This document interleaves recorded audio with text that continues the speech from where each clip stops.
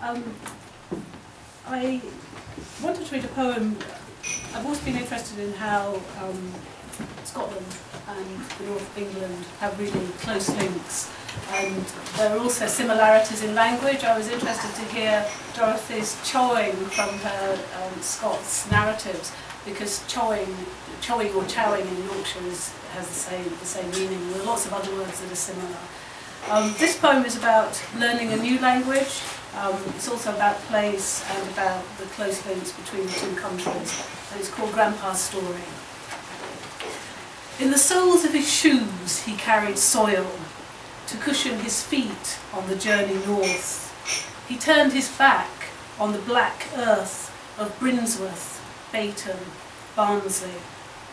He sampled Cranachan and Ceilidhs, Neeps and Tatties, Haggis and the odd dram, found work in the capital city, swigged tenements with his new pals, carried his piece in his pack. His world was rooftops, his tools metal, hammer and slate. From the houses of Leith, the false blue haze seeped under his skin.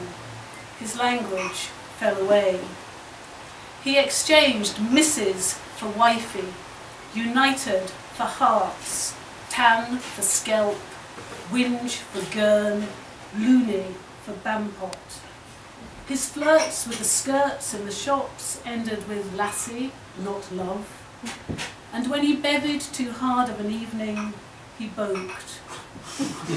Sometimes on Saturdays he took to the Pentlands, climbed Turnhouse Hill and searched the skyline.